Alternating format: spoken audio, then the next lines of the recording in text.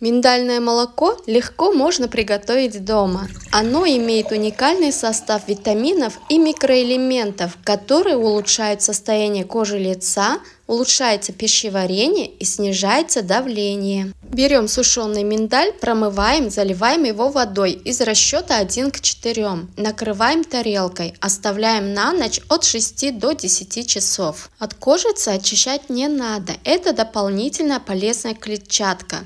Хотя решайте сами, если не снимать кожицу, тогда молоко будет более терпким на вкус и бежевым по цвету. Промываю, лишнее убираю в морозильник. В конце видео покажу, как я делаю миндальное молоко из замороженного миндаля.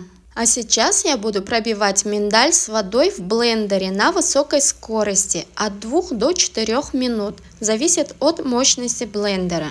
После этого процеживаем через марлю и получаем суперорганическое полезное миндальное молоко без всяких консервантов и ешек. Такое молоко нужно хранить в холодильнике 3-4 дня, желательно в стеклянной банке. Его можно пить в чистом виде или использовать в приготовлении различных блюд вместо животного молока, а из жмыха можно приготовить разную выпечку, тем самым обогатив состав клетчаткой и витаминами.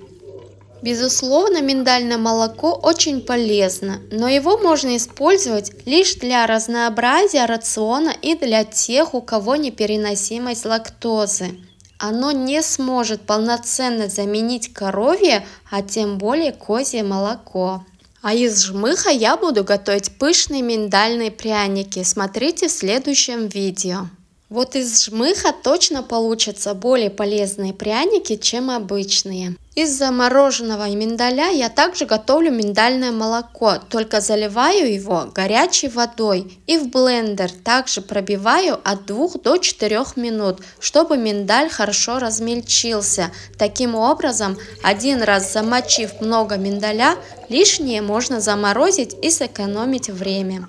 Но напоследок скажу свое мнение как нутрициолог насчет уникальной пользы миндального молока. Никакое растительное молоко не сможет заменить коровье, а тем более козье молоко. Те же ферменты, живые бактерии, аминокислоты животного происхождения, жирность даже близко не стоят с пользой натурального молока. Это просто маркетинговый ход продавцов. Он оправдан разве что от непереносимости лактозы, и то, если это подтверждено анализами.